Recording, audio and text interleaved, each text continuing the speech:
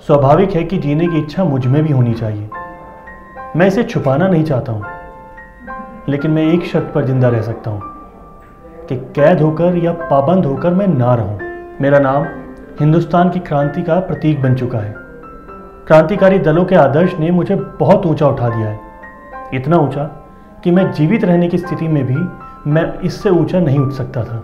मेरे हँसते हँसते फांसी पर चढ़ने की सूरत में देश की माताएँ अपने बच्चे के लिए भगत सिंह बनने की उम्मीद करेंगी। इससे आज़ादी के लिए जान देने वालों की तादाद इतनी बढ़ जाएगी कि क्रांति को रोकना नामुमकिन हो जाएगा। आज मुझे खुद पर गर्व है। अब मुझे बड़ी बेताबी से उस अंतिम परीक्षा का इंतज़ार है। कामना है कि यह और नज़दीक आ जाए। ये लाइनें मेरी नहीं है।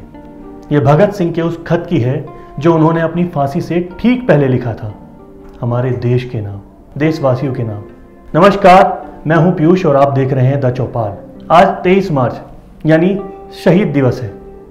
23 मार्च 1931 को भगत सिंह, सुखदेव और राजगुरु को पंजाब स्थित लाहौर जेल में फांसी दे दी गई थी। इन तीनों को संसद में बम से हमला करने के जुर्म में फांसी की सजा सुनाई गई थी। बम हमले के साथ साथ और भी अलग अलग तरह के आरोप के आधार पर इन तीनों को गिरफ़्तार किया गया था।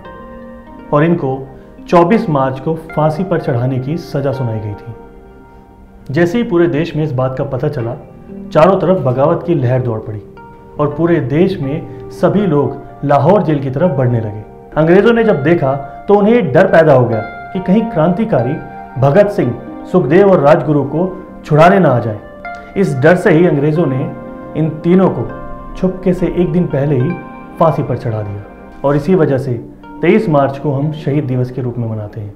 लेकिन उस समय के कुछ क्रांतिकारी वर्ग के लोगों ने, जो सुखदेव, राजगुरु और भगत सिंह के साथ रहते थे, इस फांसी का जिम्मेदार महात्मा गांधी को बताया। जी हाँ आपने बिल्कुल सही सुना। कुछ वर्ग के लोग आज भी इन मुद्दों पर बात उठाते हैं कि महात्मा गांधी चाहते तो उन तीनों को फांसी से बचाया जा सकता था। ऐसा क्यों कहा जा रहा है? या ये आरोप क्यों लगाया जा रहा है गांधी जी पर? आइए, आपको बताते हैं। असल में 5 मार्च 1931 को गांधी एरविन पैक्ट हुआ था, जिसके तहत महात्मा गांधी और एरविन के बीच एक समझौता किया गया था, जिसमें कुछ मुद्दे रखे गए थे। पहला मुद्दा था कि सभी राजनीतिक कैदियों को रिहा कर दिया जाए। दूसरे मुद्दे में कहा गया था कि समुद्र के किनारे रहने वालों को नमक बनाने की छूट दे दी जाए, और तीसरी बात यह थी कि जिन लोगों की संपत्ति जब्त की गई है, उनको वापस लौटा दी जाए। और चौथे नंबर की बात में कहा गया था कि गांधी जी द्वारा किए गए आंदोलन को स्थगित किया जाए, जिससे ब्रिटिश सरकार को कोई भी नुकसान न पहुँचे। पर महात्मा गांधी ये कभी नहीं चाहते थे कि उनके मूवमेंट को रोका जाए या स्थगित किया जाए। लेकिन उस समय अपनी बातों को मनवाने के लिए गांधी ने यह बात मान ली। ये तो हुई गांधी इरविन पैक्ट की बात। अब जो क्रांतिकारी लोग थे, उनका कहना था कि जब समझौते में सभी राजनीतिक कैदियों को छुड़ाने की बात की गई तो भगत सिंह सुखदेव और राजगुरु को क्यों नहीं छुड़ाया गया? और क्यों गांधी जी ने इस बात को नहीं उठाया? अगर गांधी चाहते तो ब्रिटिश सरकार से इस बात पर सवाल उठाया जा सकता था। और उनके द्वारा बात करके भगत सिंह और सुखदेव और राजगुरु को छुड़ाया जा सकता था। कुछ जानकारों का तो ये भी कहना है कि जब आज़ादी के आंदोलन के समय गांधी और भगत सिंह आज़ादी के लिए अपने अपने तरीके से लड़ रहे थे, तब लोगों में भगत सिंह की क्रांति को लेकर ज़्यादा जोश था।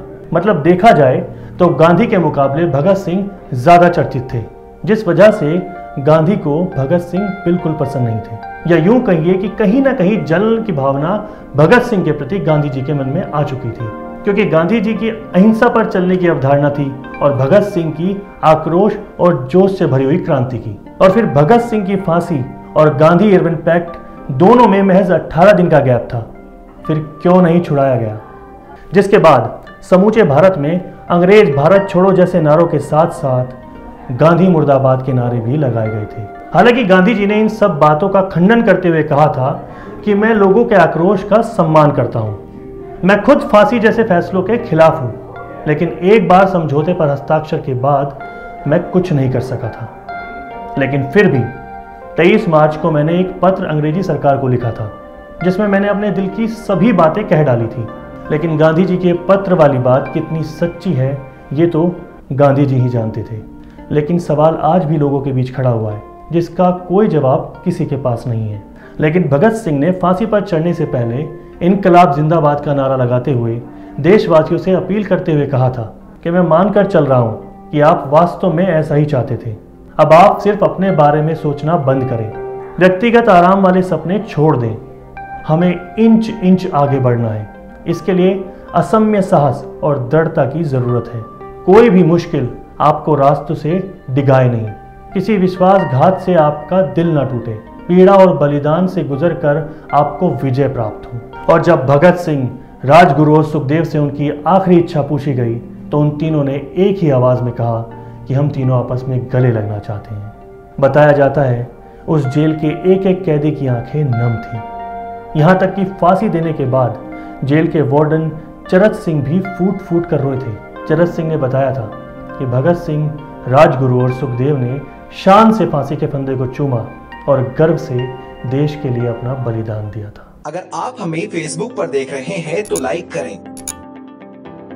सी फ़र्स्ट करें यूट्यूब पर देख रहे हैं तो सब्सक्राइब करें। बेल आइकन दबाएँ और हमसे जुड़ी सारी नोटिफिकेशन तुरंत पाएँ।